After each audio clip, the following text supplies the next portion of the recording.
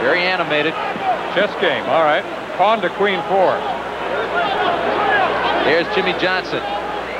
Oklahoma State, his first head coaching job. He turned things around there, now maintaining a fine program here at Miami. Six and a half years as a head coach. Played and coached for Frank Broyles. Part of the famous Broyles-Arkansas connection. Frank's uh, guys are dominating in Division 1A football. We'll talk more about that. Johnson, Hatfield, Jones, Switzer, Akers, Fry.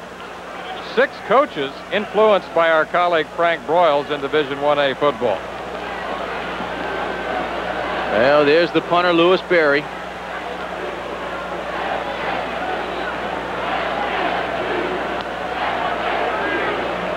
I don't know what the holdup is now. 14 seconds left. They adjust the clock. That's what it was as you look at Bobby Bowden. 79, 31, and 2 at FSU.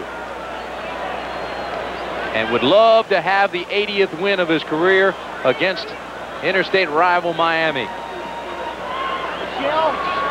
So they do adjust the clock. 32 seconds remain. Well, now what do they do it to it? They've gotten me confused. I think the coaches are confused, but now they're set to go. They decide on 18 seconds. Berry is the punter. Brett Perriman and David Kintai are the deep backs for Miami. Pressure. Taken at the five. That's David Kintai. And he runs out of bounds with nine seconds left.